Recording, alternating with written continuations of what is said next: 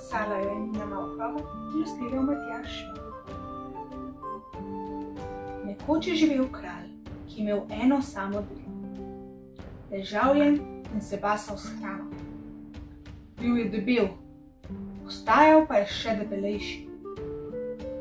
Bil je tudi najbolj neprijazen kralj, kar jih je kdaj živel. No, poslušaj, kako se je ta grdobež pogovarjal. Dobro jutro, vaša večnost. Kaj bebljaš, sitnoba zoprna? Velecenjeni kralj, bi morda želeli čaj? Ne, se ti morda zdi, da sem čajnik? Tako soren in zajedljiv je bil, vidiš.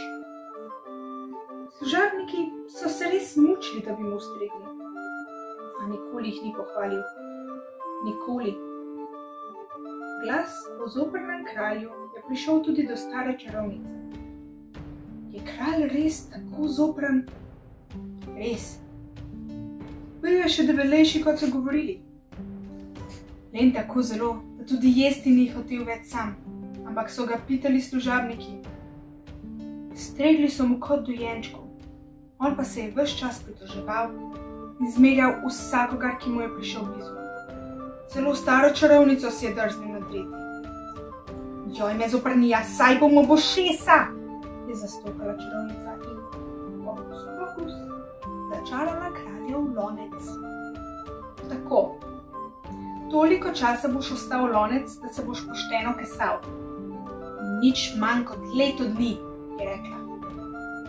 Uf, že ni bilo več. A misliš, da se je kralj ustrašil? Oh, kje pa? Bom bliže kuhinji se je hahljal. Že res. Tako enostavno pa le ni bilo. Lonec kralj je zdaj prenašal vse, kar prinašajo lonce. Kuhali so v njem, da ga je pekla od okna razbili na zadnjice. Drdnili so ga s krtačo, da ga je skelelo po vsem telesu. Mešali so v njem hrano, ga žgečkali in suvali s kuhovnico. Pa to ni bilo najhuje. Najhuje je bilo, da je moral kralj poslušati svoje služabnike, kaj so o njem govorili. Naš kralj je zagotovo najbolj zoporen kralj, kar jih kdaj živelo. Kralj naj bi bil plemenit, naš pa je debelo rit. Le kaj ni izginil, ko se vsaj ne bi nikoli več vrnil. Prav imaš, to neba smrdi od njegove lenobe. Pa tako brezčuten, njegove srce je kot obgrizena kost, trdo in grdo. To že ni res, bi rad povedal kralj svojo obrambo. Nisem takšen. Tudi jaz sem lahko plemenit in dober. Če ne bi bil začaran, bi vam pokazal. Kako pa?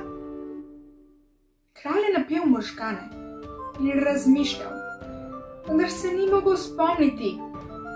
Tistim, ki nikoli ne storijo nič dobrega, zares zakrni srce in se težko domislijo, kaj bi lahko dobrega storili. To je pa hudo, kaj ne?